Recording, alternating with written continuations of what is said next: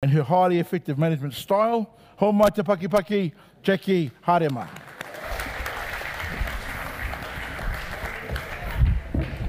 Do we just talk into the, oh, here. Uh, kia ora koutou. Before I talk, I'm going to introduce some of our other partners, and Tasha's um, come up as a hoa for me. I'm a bit nervous this afternoon, so um, can we have some of our, our Te Pae Herenga partners who are in the audience please stand up? I know you're all looking at me like we don't want to stand up, Jackie, but please stand up. I can see some of you. Te ao. We've got Muma, Tanya, Ruapōtaka, Huakina. Who else is, oh, um, Te Kaho Te Rangatahi, Papakara, I know you're here somewhere. Of course, Manureo Marae. Where's Clayton from Te Puna Hawara? um, so today I'm going to talk about um, Te Paehenga Tamaki's response during our COVID um, period, which is we've all talked about already. This will be very much focused on our Auckland response. And of course, as um, Tash and many others have talked about for Auckland, we were probably in lockdown more than we weren't. Um, we were coined the name Tamaki McCovid. So our response um, really was a, little, was a lot different to some of the other responses um, that happened around the country. How do I know if it's working? Tasha's actually going to speak. She's not just sitting there to um, support me. She will speak around some of our South Auckland mahi that we've done as a collective. so this is um, our trip that we took up north when we joined with the um, Taitokero Collective. So Te Paehenga Tamaki is made up of iwi providers, we've got Māori providers, we've got marae. There's about nine, ten different providers in our collective, and together we service the 200,000 Māori that um, cover Tamaki Makaurau. In the North Shore, we have Te Puna Hawara, who have been there for a long time. South Auckland, we've got Muma, Manurewa Marae, Papakura Marae, Huakina, um, and in West Auckland, we, of course, we have Waipalaida. We've also got our local marae like Huani Waititi, Ruapōtaka. Gosh, I'm going to forget someone. I always forget someone. please, if I, for, I forget you, please tell me afterwards. Um, and all of us have come, we have been working as a collective for the last eight years, really coming together, um, understanding what works for our whānau in Tamaki, and all with our own unique strengths in our different communities. I've been really honoured to be the chair of Te Paehenga for around, gosh, three years. As Iri alluded to, I'm also a very good chair wiper. Um, so this is just a picture of us when we travelled north um, with um, Te Hui Tūhono. So again, Tamaki Makaurau, of course, 200 Māori live in our area. We, as a collective, try to support 200,000 Māori in um, Tamaki Makaurau. And of course, in 2020, we were locked down, I think we were in lockdown three to four times. And in 2021, we had 107 continuous days of lockdown. And I know Tash and some of the others have talked about this, what this means um, for our people. But out of those many lockdowns, we have a lot of mahi to do to um, support our people as we come through COVID. Mana motuhake. So I've sort of um, coined the presentation in line with the po that Kitty talked about. So it requires some really good leadership. This was some of our leadership teams that led our response from 2020 to 2021. Um, and what that required was some vigorous advocacy as, and relentless advocacy, as Kitty has talked about, really understanding actually we know our communities best our response is unique to our community and really driving that home with the funders that we know what we're doing. We are best placed to support our whānau to do that.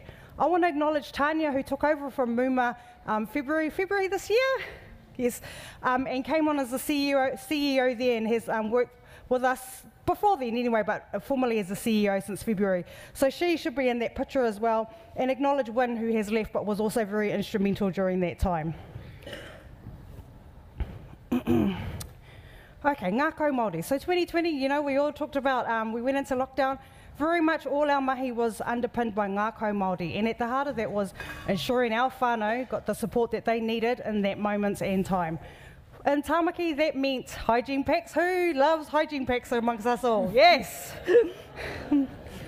Kai packs. And again, those are just connection points. So you all know that. That's actually for us to get in the door, connect with our whānau, understand what's happening for them on the ground, and really being able to provide some wraparound support for them. Um, we set up uh, distribution centres. For Waipareira, we were su supported our partners to set up their own distribution centre. distribution was not part of our um, what we did normally, um, but we managed to, gosh, hundreds of thousands um, hygiene packs went through our distribution centre. The marae, you will see that a lot of them changed their business as usual, and Tash might want to, she has talked about some of that already, but the marae became the epicentre for their communities, providing kai, providing connections, and this is in 2020 and 2021, what the marae provided again changed to address what was happening in their communities. Oh, I've gone the wrong way. Some lovely pictures of our nannies. I, everything that we did, of course, is um, fight for your whakapapa. These, a lot of our mahi and you all talked about already was protecting our nannies, our kaumātua connection, ensuring that they were safe. And of course, with our nannies come all the other whānau members that come with them, but all our partners and news have already talked about it, was how do we support our kuia and kaumātua through this, making sure that they're safe. A lot of them were ringing us because they wanted to know why they weren't allowed in the office. Um, but that was, in 2020, that was a lot of the emphasis for all of us. Protecting our nannies and our kaumātua, looking after them, making sure that they're well insulated, and ensuring that we are able to um, fight for our whakapapa. Our tamaki now. So off the back of 2020, we all went through that, but then we actually had to think about strategically what does Tamaki look like for us now? What do we want it to look like in five years' time? And everyone had an economic summit. So during our economic summit, we brought all our partners together again and really looked at what do we need in Tamaki that's going to bring um, some economic recovery that's going to support our whānau to thrive. And we saw the emergence of a lot of side gigs, like side hustles, through Ngātini Whetū. A lot of our single mums established their own side hustle business. How do we support them to continue to grow, to continue to grow their business? And how do we support their so, the social enterprise that was emerging? So one of the key factors um, for Te Paeherenga o Tāmaki was to really understand the economic environment that we were operating in and supporting our whānau to thrive economically. Does people see Boyd um, in there? Mm. We were lucky to have um, Minister Hinari attend that hui, um, but we had some key strategic priorities that came out of that. Tamaki 10,000 is one of our key strategies where we support 10,000 Māori across Auckland to get into employment or better their employment that they have, better their opportunities and or support them to get into new learning opportunities. So some really key targets that we have to achieve as a collective and we have um, worked over the last, since 2020, to understand what that looks like. For Rua Pōtaka Marae, they've got a lot of innovation happening there. Actually, all our partners do, and I'm going to um, miss someone out if I talk in particular about one or the other. But they have a um, social supermarket that has emerged out of there, and everyone has got pockets of innovation that has emerged as a result of Tamaki 10,000. Earlier this year, um, we had the Regional Skills Leadership Group, which is part of MIMBI and put, brought together by Minister Sepuloni, endorsed Tamaki 10,000 as the Māori strategy for Tamaki. So um, our partners are really in some really strategic positions to be able to push for what our Tamaki is going to look like past COVID. Sorry, I'm going to go back. You know, um, and you have all talked about it, but um, what we've noticed, and you all know, for Māori, by Māori, to Māori definitely has been the best response that we've ever had um, during this period. We, all our leadership did not wait for a government to decide what was the best approach for us. Again, overnight, as you all did, we all changed our workforces, we redeployed, and we, excuse me, and we designed workforces that was going to address the need in our community in that moment. So again, for Māori, by Māori, to Māori is underpins everything that Te Paeherenga o Tamaki does, as you have all already talked about and acknowledged, underpins everything that you do as well. Ngātini Whetū, we continue to run Ngātini Whetū through, through both lockdowns. We had over 250 whānau graduate from Ngātini Whetū. A lot of businesses came through at the end of it, um, and we will continue to support them as they, oh God, excuse me, can I have some water? Do speakers get water? No. um, as they establish their businesses, and um, we've had a lot of them who will be who have started to employ other Māori um, in the community. uh, Hui Tūhono, this is um, our, group, our, group, up north meeting with the Tai Tokerau Collective. through COVID, we have we've started to push back on MSD. We've started to push back on Oranga Tamariki, and this whare tūhona was us starting to push back of. Thank you, Tash. was us starting to bougie, bougie water too. was Bloomin' Aucklanders and their bougie water. I know you're all thinking that. Oh, Oh.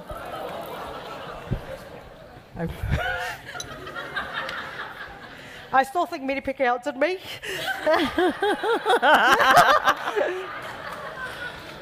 um, what was I talking about? Oh, hui tūhono. Bougie water. So we travelled north on our bus, all of us, um, lovely on the pahi, um, and met with the Tai Tokerau Collective, and again worked strategically to understand how do we start to push back on the Ministry of Health. What does that look like for a for Māori by Māori response, and collectively bringing Māori partners iwi together from Tamaki and up north. You're covering how much percent of the Māori population of 25 live in Auckland? Probably around 40 to 50 percent of the Māori population. So together, collectively as a group, we are a very strong group um, doing that. COVID round two, Tamaki ma COVID. I haven't even got to um, the second round, so 2021, again, we were in lockdown for 107 continuous days. We moved our workforce from being one around hygiene pack delivery, kai delivery, connecting, to one of lay vaccination, RATS testing, PCR testing. And this is us when we took our group to South Auckland. South Auckland had one of the lowest Māori rates for vaccination. Um, and as a collective, we come together and thought, what can we do to support each other to be able to raise those um, vaccination rates? So I'm going to ask Tash to talk about that because she's one of our South Auckland providers. But this is our team that we all came together at South Auckland and we took on Papakura, we took on Manurewa, and we took on Pukekohe as part of our um, Whānau Ora Battalion in South Auckland. Well, kia ora. I think it's just, just to acknowledge that um, it, was, it took a collective and a collaborative whānau order approach to be able to address the needs. And um, we knew that we couldn't do it on our own. And we knew that um, the only way to actually get to our whānau was to be able to put us out there in mass. So um, having a really coordinated approach was really effective for us in South Auckland. Uh, and we did that with the support of all of our partners. So Manirewa Marae, Papakura Marae, Huakina Development Trust, uh, Turuki. Healthcare, Muma, we all um, came together to strategise how we could utilise the workforce that we created for Te Pae Herenga o Tamaki. I think when, you know, when I think about some of the questions that came in our last panel, you know, it talked about how do we move whānau ora forward? Well, this is a version of moving whānau ora forward. It's um, bringing your resources together in your rohe and being able to share the responsibility and the load to be able to um, to take service to our people. And uh, we did really create a battalion. And, and I think it's also about the, the languaging that we use. We changed the way we talked and we changed the way that um, we um, communicated the ideas or whakaro out there across our, our kaimahi. You know, it's unheard of to work together. You know, if we, think, if we took COVID away, we all worked in little silos. But um, I think through whānau water, we have learnt to be able to put egos aside. We have um, been able to leverage off the collective thinking, the collective agendas that we, sh- a shared agenda that we had to be able to um, ensure that we were, we were making sure that we strived for the best tamaki makoto, and um, we did it together. Leadership, uh, relationships are really key. I think when I look at this photo as well, um, it takes great, courageous leaders, CEOs, that have to be able to put aside their own daily business to be able to think about a collective, and that was all part of the um, strategy of building a Tamaki Makoto battalion and then a South. South Auckland is very unique. We're very different to West Auckland. West Auckland has one main provider, that's Waipareira. Everybody knows that. When you come to South Auckland, you have to work in a partnership. We have to work and share together.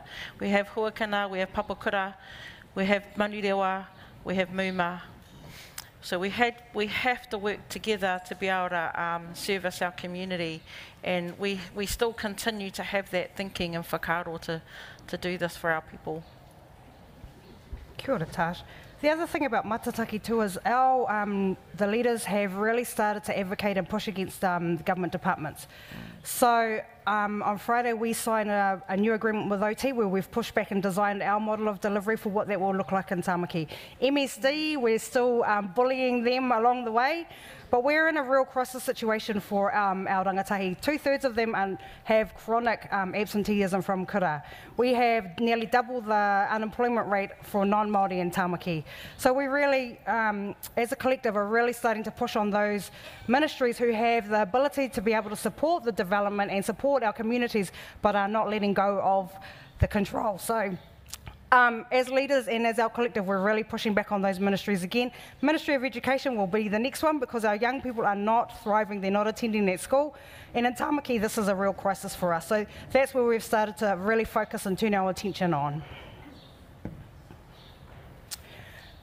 Um, and Tasha's talked about it a bit earlier. This is um, some of the battalion, um, you know, when we learn to engage and how we engage with our um, communities. So the one on the bottom is where we were in Pukekohe. We did not find a site, we just set a site up on the side of the road. Um, and we made that work. I don't know how many Black Power whānau live in Pukekohe, um, but there was a lot of them. Um, and then there was there's another one in the middle there where a guy is on home D, and we walked them, we walked our teams to his house, outside his house. He brought his chairs out, and then we did his um, vaccination um, outside his home. So you have, have all got stories like this, but this is how we engage with our community, taking it to them. Um, the way that we promote the vaccination is through we make a lot of noise on the um, on the streets. We have our cars going up and down with the speakers. Um, and we have social, mes- social media messaging that actually connects and relates to um, the people that we're trying to engage with. So I thought that picture of the guy with Home D um, you use the raw got stories like that, but that's how we work and um, connect with our community. Tūmanakohanga. So this is the aspiration and what is it that we want for our whānau. We have, across all our partners, a really rangata, strong rangatahi workforce that we've developed as a result of COVID.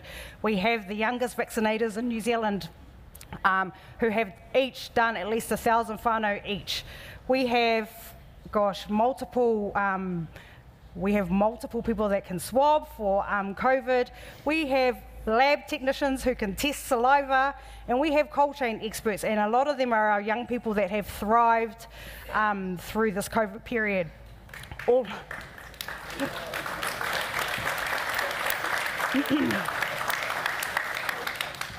they actually, they were so quick to pick up, eh? The CIR stuff, they were actually telling our super users how to do it. They were doing their um, doing things that I'm sure they weren't allowed to in CIR.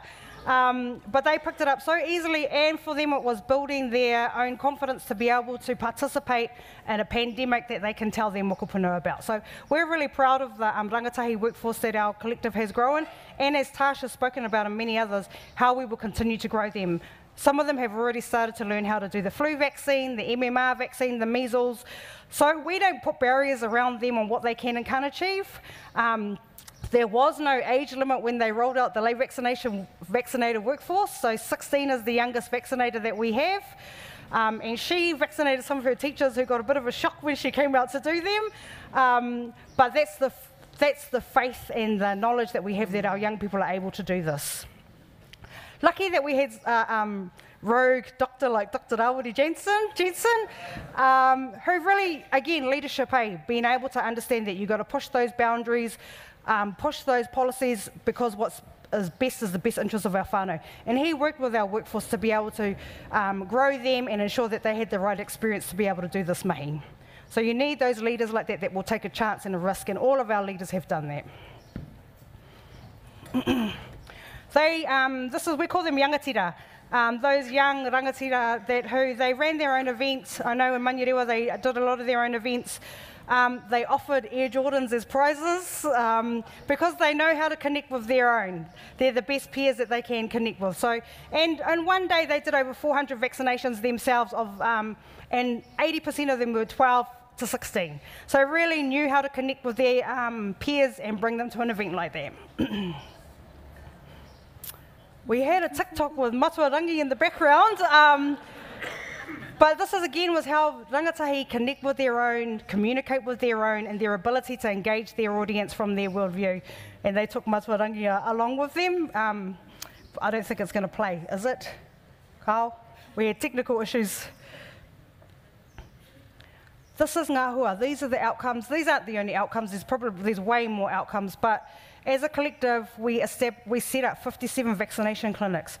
But remember, we're talking 200,000 Māori in Tamaki, but also we had more non-Māori that came through. 59 mobile vaccination and testing units, eight distribution centres, eight community testing centres. In total, we vaccinated, oh gosh, I can't even, 370,445 whānau.